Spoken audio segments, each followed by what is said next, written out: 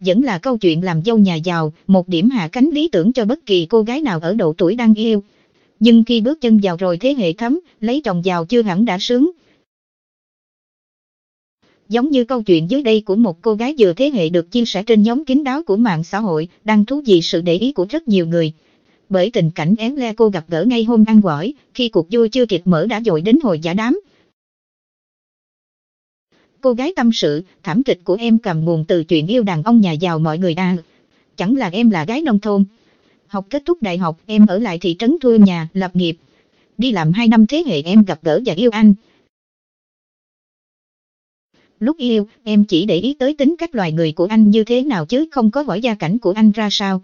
Tới khi anh nói muốn cưới nên dẫn em về giới thiệu với bố mẹ anh, lúc ấy em thế hệ biết Gamer thủ trai mình là công tử nhà giàu.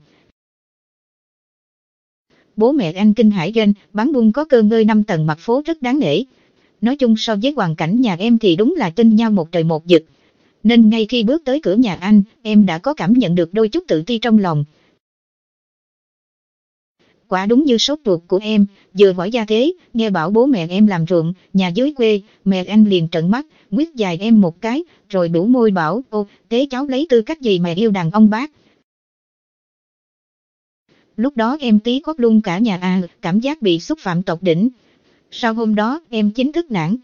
Mấy lần đòi chia tay mà anh không chịu. Chẳng rõ rệt sao anh thuyết phục bố mẹ kiểu rồi bên nhà anh cũng vui mắt cho tụi em làm đám cưới. Theo dõi tới đây, hội chị em ô lên chúc mừng đôi gamer thủ trẻ đã vượt được gian khổ ban đầu. Không hiểu chuyện tình cảm của cô còn gặp gỡ trắc trở gì nữa. Mọi người nối tiếp tập trung theo dõi, để rồi tất cả đều sốc với tình tiết tiếp theo. Em cứ nghĩ mọi chuyện như vậy là ổn. Bố mẹ em cũng mừng vì con gái chọn được nơi ấm ấm để dừng chân. Trong suốt quá trình hai bên gặp gỡ nhau đàm luận chuyện cưới hỏi, nhà anh không tỏ bất kỳ thái độ gì, Khi bàn tới lễ cưới, bên nhà em bảo mọi chuyện cứ tối giản nhất có thể. Bởi thực sự, bố mẹ chỉ mong em hạnh phúc. Mọi thứ chỉ là hình thức, không quan trọng. Song phía nhà anh thì khác. Người ta vẫn bảo giàu sang sinh lễ nghĩa, nên đám cưới của đàn ông, bố mẹ anh chuẩn bị hoàn tráng lắm. Mọi thứ đều phải ở mức độ quý phái nhất, đẹp nhất, lộng lẫy nhất. Hôm ăn gỏi, nhà anh dẫn cả đoàn ô tô xuống cùng 11 trác lễ kiến họ hàng, xã xã ai nhìn vào cũng suýt xoa bảo em số sướng được làm dâu nhà giàu. Thế nhưng khi nhà em vừa nhận lễ kết thúc, mẹ anh ngồi xuống bàn thư chuyện. Vừa nói bà vừa đưa một chiếc phong bì dày cầu đặt lên mặt bàn bảo đó là khoản lễ đem cho nhà gái. Điều này làm bố mẹ em khá bối rối, vì thứ nhất ngay từ đầu phía nhà em đã nói rõ rệt không không thách cưới. Thứ hai khoản tiền 50 triệu kia là quá lớn với nhà em. Thế nên bố mẹ em cương quyết trả lại. Ảnh minh hỏi.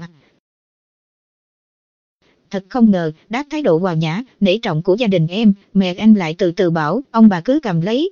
11 mâm lễ kia cùng với số tiền này chúng tôi bỏ ra không có tiếc, quan trọng là thái độ của cái mờ. Sau này, thôi thì mất lòng trước được lòng sau. Tiện đây tôi cũng nói luôn, nhà tôi có nề nếp, gia giáo quy củ trước giờ rồi. Ai cũng thế thôi, trước về được thì cũng tiễn đi được. Ôi, nghe tới đây, cả nhà em choáng vắng luôn.